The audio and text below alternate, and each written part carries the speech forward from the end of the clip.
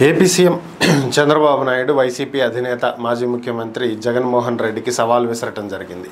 So Jaganmohan Reddy Delhi వెళ్ళి ధర్నా చేసిన విషయం అందరికీ తెలిసిందే. ఏపీలో శాంతి భద్రతలు క్షీణించాయని భారీగా రాజకీయ పరమైనటువంటి కక్ష సాధింపు చర్యలకు అధికార పార్టీ పాల్పడుతుందని ఇప్పటివరకే ఎన్నికల ఫలితాలు వచ్చిన దగ్గర నుంచి ఇప్పటి వరకు దాదాపుగా ముప్పై ఆరు మంది మరణించడం జరిగిందని హత్యకు గురవ్వటం జరిగిందని చెప్పి ఆయన చేసినటువంటి ఆరోపణలు అందరికీ తెలిసిందే. దీనికి సంబంధించి చంద్రబాబు స్పందించడం జరిగింది.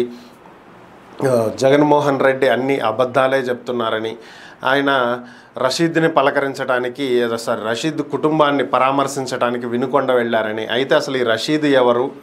చనిపోయినటువంటి వ్యక్తికి చంపబడినటువంటి వ్యక్తికి సంబంధం ఏంటి? అంటే ఇద్దరూ కూడా గతంలో వైసీపీకి చెందినటువంటి వాళ్ళే అని.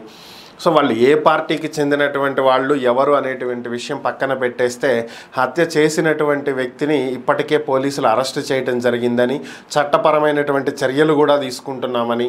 అలాగే ముప్పై ఆరు మంది హత్య గావించబడ్డారని చెప్పినటువంటి జగన్మోహన్ రెడ్డి వాళ్ళు ఎవరెవరో వాళ్ళ పేర్లేంటో వాళ్ళని ఎవరు చంపారనేటువంటి లిస్ట్ గనక ఇచ్చినట్లయితే వాళ్ళ మీద కూడా చట్టపరమైనటువంటి చర్యలు తీసుకుంటామని చెప్పి ప్రకటించడం జరిగింది. అయితే ఇక్కడ కక్ష సాధింపు చర్యలకు వెళ్ళటానికి చంద్రబాబు సిద్ధంగా లేడు అని. సో అలాంటి నైజం తనది కాదు అని చెప్పి చెప్తూనే చంద్రబాబు మరొక పక్కన నిజంగా ముప్పై ఆరు మంది హత్య గావించబడి ఉంటే వాళ్ళ డీటెయిల్స్ ఇవ్వండి. చట్టపరంగా చర్యలు తీసుకుంటానికి ప్రభుత్వం సిద్ధంగా ఉంది. వాళ్ళు మా పార్టీ వాళ్ళైనా ఏ పార్టీ వాళ్ళైనా సరే వదిలిపెట్టేదే లేదు. నేను ఒక లిస్ట్ ఇచ్చాను. గతంలో నువ్వు అధికారంలో ఉన్నప్పుడు జరిగిన సారీ గతంలో నువ్వు అధికారంలో ఉన్నప్పుడు జరిగినటువంటి హత్యలకు సంబంధించి నేను ఆల్రెడీ ఒక లిస్ట్ ఇచ్చాను. సో అలాగే నువ్వు కూడా ఒక లిస్ట్ నేను స్పష్టంగా నువ్వు అధికారంలో ఉన్నప్పుడు పేర్లతో సహా వీళ్ళకి జరిగింది వీళ్ళకి ఇది జరిగింది అని ఇవ్వటం జరిగింది. సో నువ్వు కూడా అలాగే ఇవ్వు.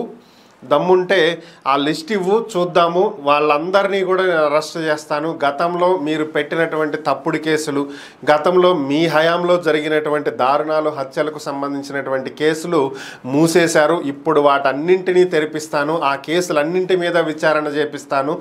తప్పు ఎవరిదైనా శిక్ష వేయిస్తాను అది మా పార్టీ వాళ్ళైనా కూడా శిక్ష వేయిస్తాను ఎవరిని వదిలేదే లేదు చట్టానికి ఎవరు అతీతులు కాదు అని చెప్పి చంద్రబాబు సవాల్ విసరటం జరిగింది. మరి దీన్ని జగన్ ఎంతవరకు తీసుకుంటారో చూడాలి.